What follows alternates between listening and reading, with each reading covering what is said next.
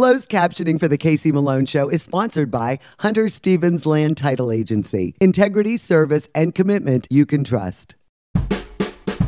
Oh, yeah.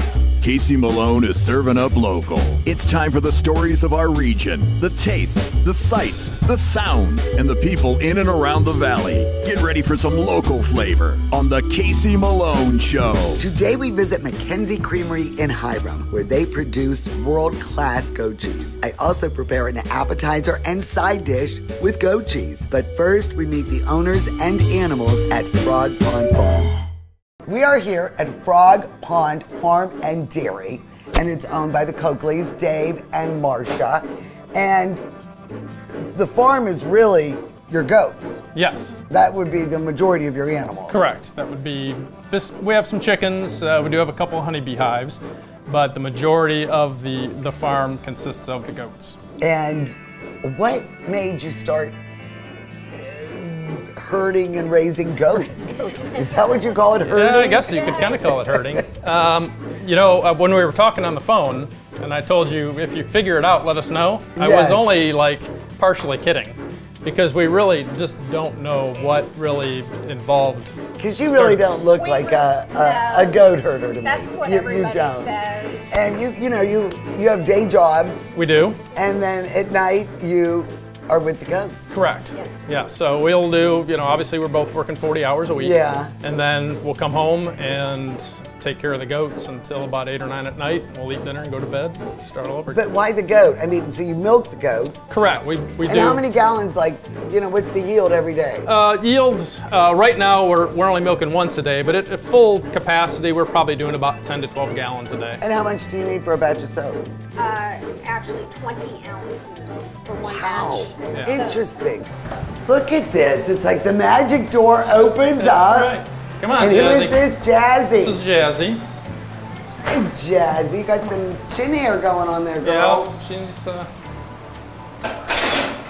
she'll latch in and And then. she knows right how to do that, huh? Yeah, well, there's grain in there, and she's all about grain. This is Maddie. Hi, Maddie. Look at gets, that. She gets a little confused sometimes. There you go, girl. Come on, Sparkle.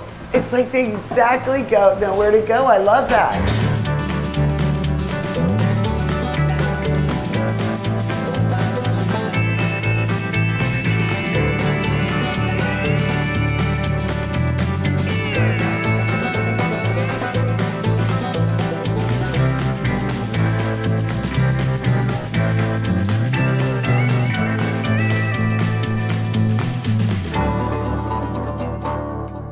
Now going to make some soap.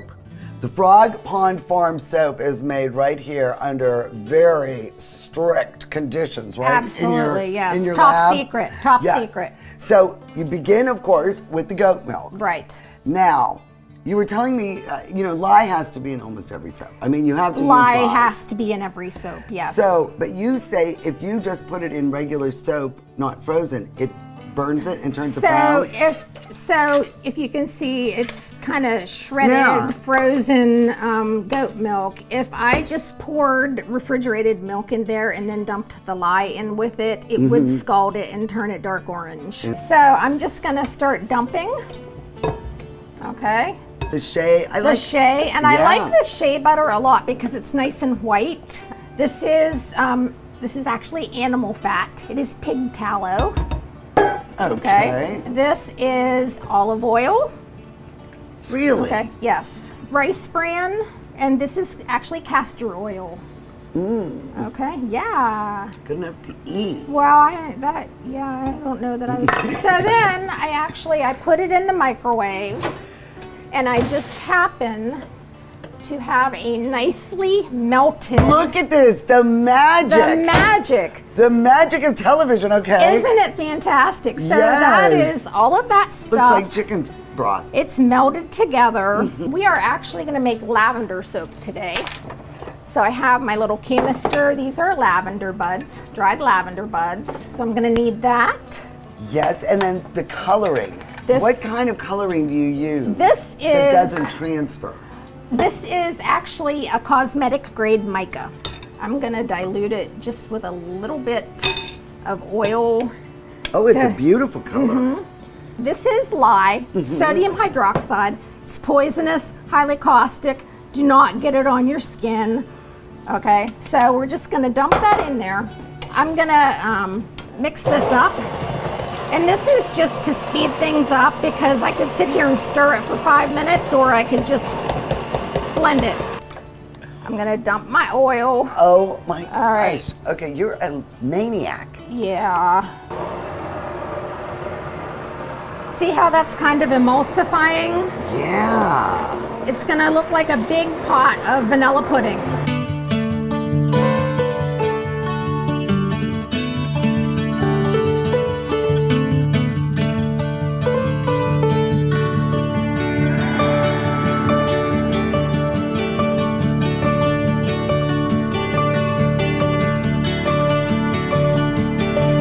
This is absolutely amazing. I mean, you want to talk about a local product. Mm-hmm. I mean, made with your goat's milk. Yes. And I mean, you've really mastered this pretty well. Farm to shower. Yes, farm to shower. Mm-hmm. Love that. and you know, you're available online. Uh, we'll put the graphic with uh, the website and the Facebook, and then you do Mm-hmm. some local trade shows and crafts. Yes, and we're available in um, some certain local retail locations as well. So, wow. Well, this was really an interesting day. Well, thank you. I am really glad that uh, I came out. I mean, I really, I think this is awesome. I can't believe this is in Canfield, like, Ohio. so close by. really, I love it. This is beautiful. Thank you so much. Thank you. The Casey Malone Show will be right back with more local flavor. Hi, I'm Elizabeth Bernard. I've been giving the people of our valley free advice for over 30 years, and my message has never changed. If you're involved in a car, truck, or motorcycle accident, don't try to handle it yourself. Call a lawyer. A lawyer will be your representative, dealing with doctors, medical insurance, and all the red tape that you may face. Hiring a lawyer doesn't mean you'll end up in court, and remember, there are no upfront fees on personal injury cases. That's good advice. Need a lawyer? Learn more at elizabethbernardlaw.com. RNS Paint is a locally owned paint store and not a paint department. Inspiration comes easy when choosing exciting Benjamin Moore colors and finish. Over 3,400 vibrant and durable colors are yours at RNS Paint.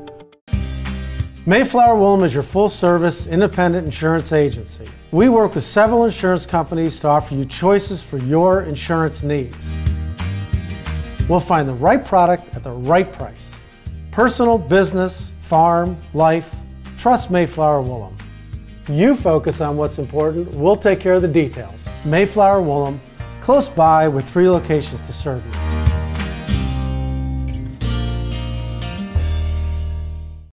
Brothers has a great choice of quality cheeses. We use our relationship with Old World Houses to specially select the product and then have it custom cut and packaged by our own local artisans. At Rulli Brothers Market, our family is in the store.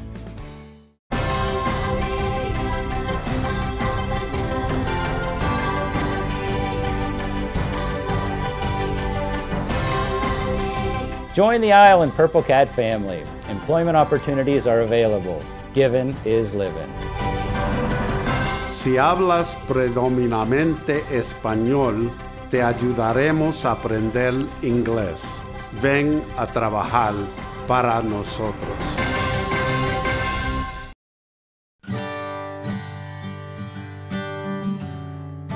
I don't know if we are ever going to get this segment made. Did you know Rob drove into Youngstown and I came up to Hiram?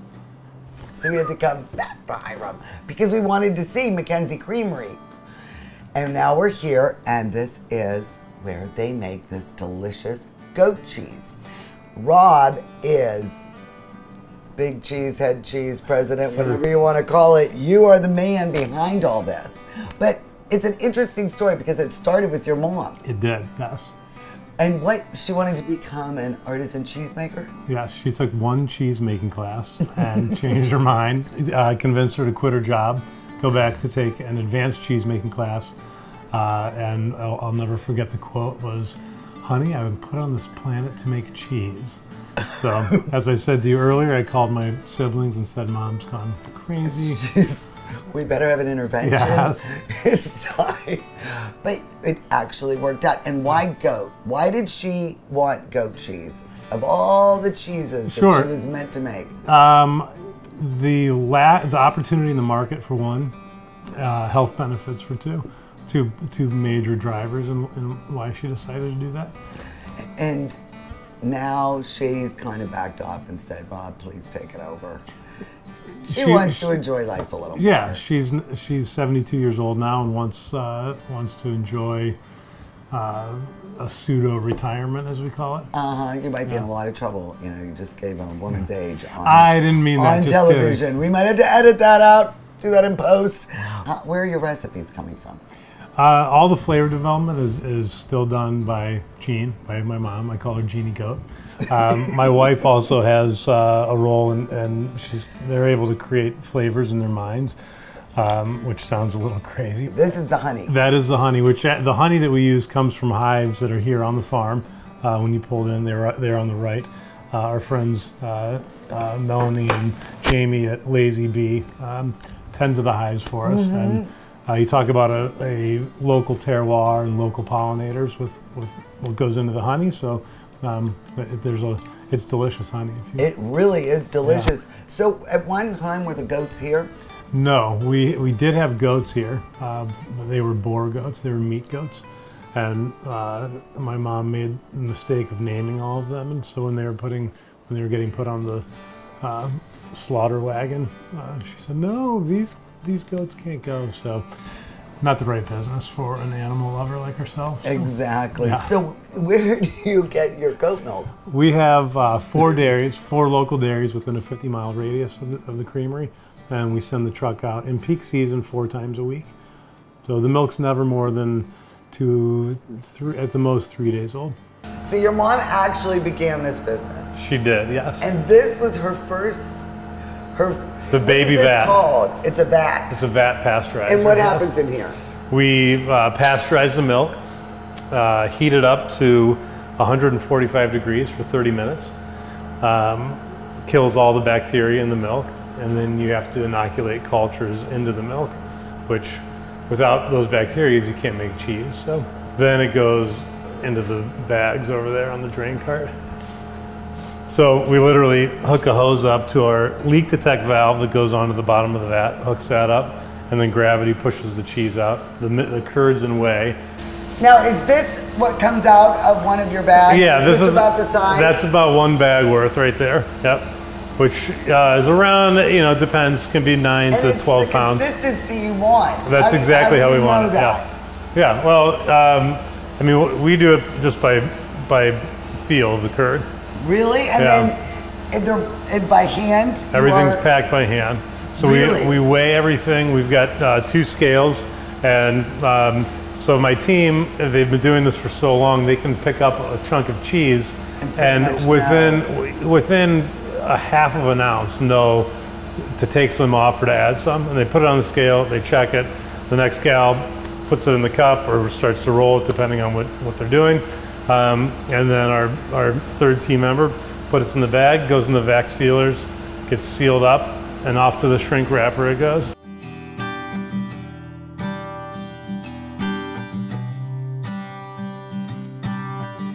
What's your best seller? Um, the plain? Yeah, actually, our plain is our number one seller, and then our sweet fire, our cognac fig. I'm sorry, there's a ghost in here. There's a ghost in here. Um, Go away, ghost. our, our plain, our sweet fire, and cognac fig are all top of the charts. Uh, they, they, they What do you to- like the best? They've all been my favorite. I- I- Oh, I mean, when like we've developed them, yeah, I love them all. when we've developed the flavors, I thought, oh, this is going to be our number one seller. I love this cheese, and then, um, and then I have a tendency to lean towards our favorites being our best sellers because they're paying the bills. They're paying the bills. Can you see more expansion coming? Uh, not in the near future, no. Yeah, and I enjoy being I enjoy being the small guy that can be quick on our feet. We can answer the, the market's demands quickly, a lot faster than the big guys can. So, um, so yeah, there's benefits to being small.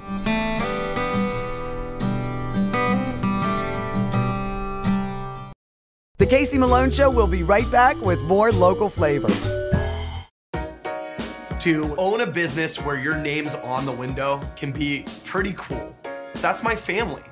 My name is Danny Catullo, and I'm the owner of Catullo Prime Meats. My grandfather started the business in 1962. I was able to take our old style butcher shop and bring it out to the new age using e-commerce to get our products to more customers. When we started shipping, there was not a ton of information out there. That's where we really worked with FedEx so they could be able to help us with our perishable shipping. We were taking on new purchases that we never had to make before. Boxes, coolers, ice packs, anything that was involved around shipping. So we can no longer do this with the cash that we had on hand. So because of the Plum Card from American Express and all of its benefits, it was a natural fit to help grow our business. When someone calls and lets you know that you made their dinner, that's satisfaction that you can't get anywhere else. My basement was dreadful. Cracked concrete, chipped tiles, it was my dumping ground. Carpet, vinyl, wood don't last. Now I have Pebblestone, the best basement floor covering, made with natural stone and the strongest man made binder. Pebblestone evened out my floor. Easy to clean, resists moisture, and withstands flooding. You will love your basement. Call locally owned Pebblestone, the best flooring system. It's not just any stone, it's Pebblestone. Rulli Brothers is way ahead of the competition. Check out Rulli Spice World, where you can buy bulk herbs and spices, plus candies, nuts, and fillings for pennies on the dollar. At Rulli Brothers Market, our family is in the store. There's a new standard in assisted living. One that combines comfort, luxury, convenience, and the highest quality expert care. Your loved ones can experience it now in Canfield's premier senior living location. The Inn at Ironwood offers fine dining and amenities such as a concierge, salon, housekeeping, and laundry services. And a truly elegant setting in Canfield. Call us for more information or visit us and take a tour. The Inn at Ironwood, Canfield's premier senior living location.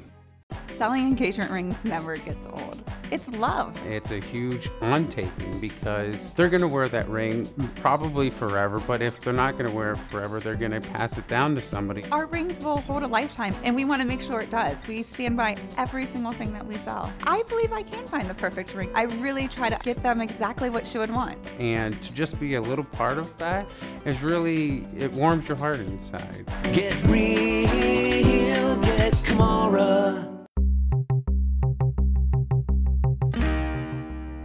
He is back. That's right, Rude, the dude from the Magic Tree Pub and Eatery is open for business. Oh, so glad. Yes, Casey. First, I want to thank everybody, all of our guests that have supported us over the last few weeks. Uh, it's, it's been amazing just to see the response. But yeah, we're back in effect. Patio's open, inside dining's open. We're back to full menu. We'll be supporting all of our farms again, all of our local breweries, back to our happy hours, our weekend specials. So, you know, we're following all the guidelines. The staff's excited, and it's just, we're, we're ready just to get back and keep going. Farm to table, great service, of course, a huge selection of beer and wine, and oh, I am just so glad I yes. missed you. Rudy. Yes, we are looking forward to it. So thank you again to the community, and we're looking forward to seeing everybody. Come on out, Magic Tree Pub and Eatery.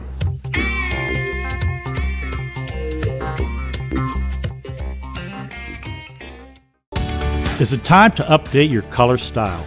RNS Paint will assist you with your choice of over 3,400 Benjamin Moore colors. Vibrant, durable, and easy to apply. Be current, be stylish. Shop RNS Paint.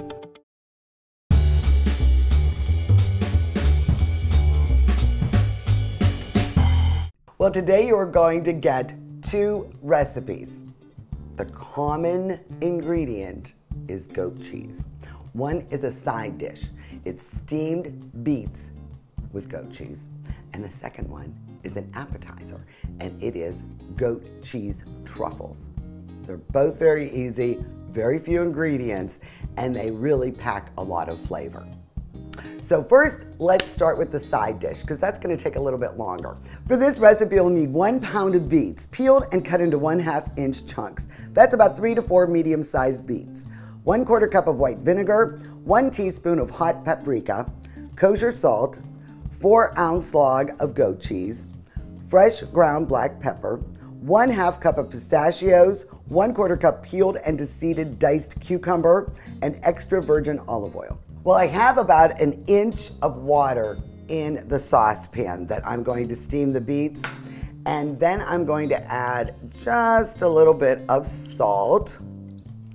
I am going to add the vinegar and I'm going to add the hot paprika. And I've got to tell you what a difference it makes when you use the Hungarian or Spanish hot as opposed to just normal paprika. So I put that in the water, put the steamer basket in, and then the beets.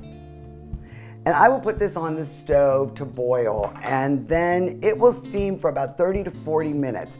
Just make sure you check it every now and then to make sure that the beets are fork tender. And we'll be right back after that to prepare the rest of the dish. Well, after about 35 minutes, these were ready to go. So I threw them in this bowl just to cool them a little bit. And all I'm gonna do now is, this is very easy. I'm going to take half of this goat cheese and I'm going to break it up throughout this wonderful dish. I am going to look at that. A little more of the hot paprika. This is just a half teaspoon. This stuff goes a long way, let me tell you. And then a tablespoon of white vinegar. Oops, spilled some on the counter. So then you don't want this to be really smooth. You want it to be a little chunky. So I'm just going to roughly, coarsely mash it and try to get all of these ingredients combined. Then what I'm gonna do is stick this in the fridge just for about 20 minutes, half hour, to let it cool a little further, and then we'll finish it off and it'll be ready to serve. All right, now for the second recipe. This is goat cheese truffles. These can be made up in no time.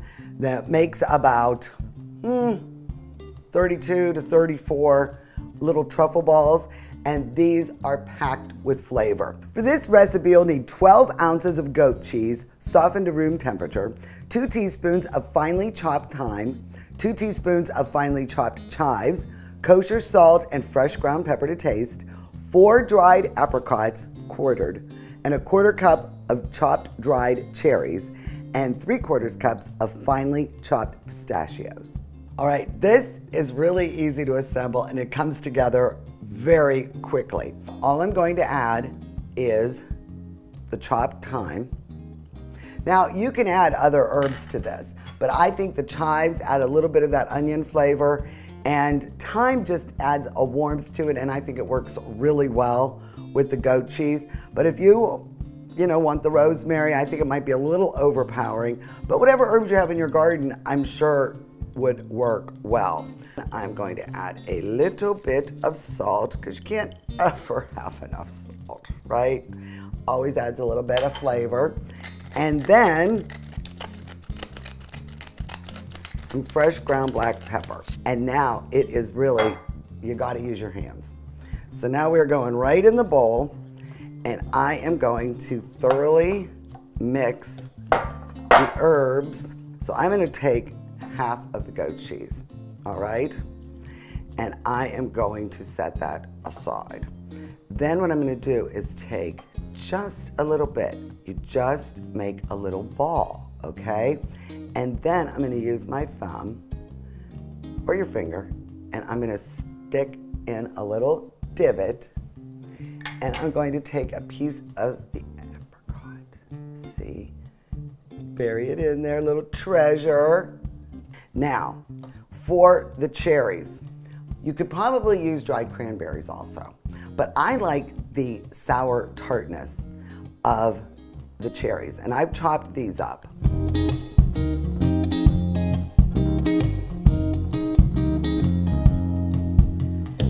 And you make your little one inch ball with the cherries in it.